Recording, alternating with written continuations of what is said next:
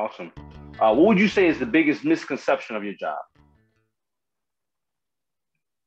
Uh, the biggest, it depends on who you ask. I think that when you ask people in the US about what it means to mobilize people of African descent to Ghana, the first thing they think about is missions. Because if you think about the American relationship to Africa, in most cases, it is often in a philanthropic or missional type of role. I mean, think about your growing up. How often uh, did you hear about Black people going to Africa outside of either missions, like Black Christians going to Africa outside of missions, and or doing some kind of service?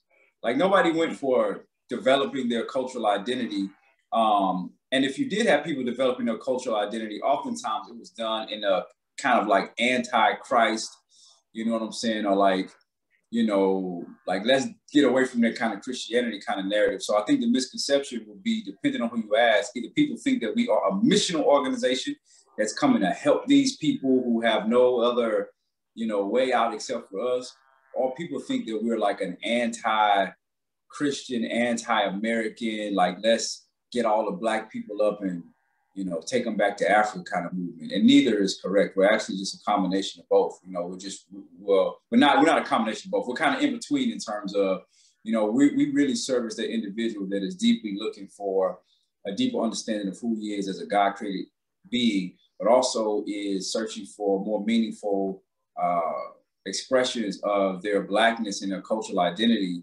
And at the same time, they recognize that really uh, one of the best ways to lose yourself is lose yourself in the service of others. So, you know what I'm saying? That's kind of like a little brief, brief, brief misconception. Okay.